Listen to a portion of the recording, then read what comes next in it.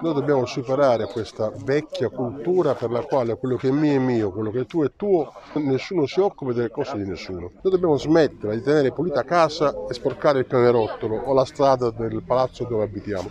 Questo è il senso di questo messaggio che viene dalla società civile, che è contro gli incivili, che viene dalla circoscrizione, che viene dalla RAP, che viene dall'amministrazione comunale. Eh, abbiamo deciso di portare avanti una campagna per ridurre a zero queste discariche.